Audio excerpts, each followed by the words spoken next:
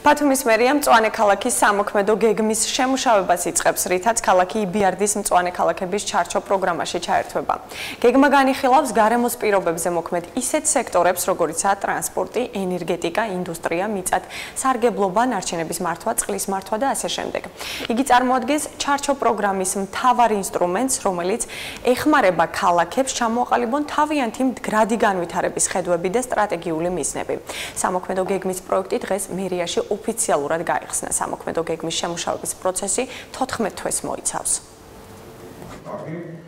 და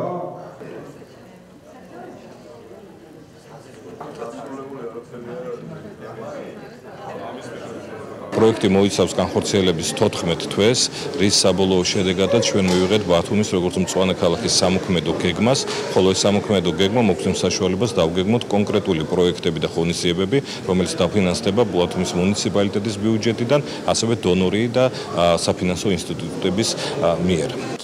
ძალიან მნიშვნელოვანია რომ ბათუმის მუნიციპალიტეტმა მწვანე ქალაქის გეგმის შემუშავება დაიწყო.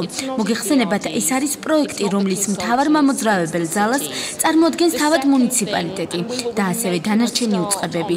გამომდინარე აქედან ამ ეტაპზე მთავარ გამოწვევად შეიძლება გადაწყვეტილებების მიღების ეტაპი იყოს, რომელშიც წამყვანმა ფიგურანტებმა უნდა მიიღონ მონაწილეობა.